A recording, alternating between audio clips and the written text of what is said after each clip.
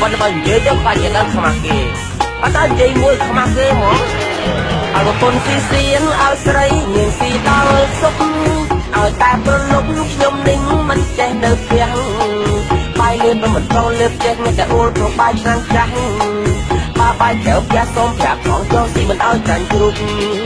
បើនិយាយរឿងស្វឹងខ្ញុំតែងងទៅមិនដឹងអី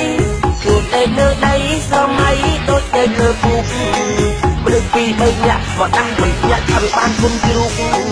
មកឈ្មោះអ៊ូពុកឲ្យខ្ញុំឲ្យរត់ជ្រូកទឹកជ្រូកដីមិនរត់ខ្លាចជ្រូកប៉ុន្តែខ្លាចរឿងមួយយ៉ាងស្រវាំងតិចចងាងខ្លាចណាស់ឡានឡោកាន់ដី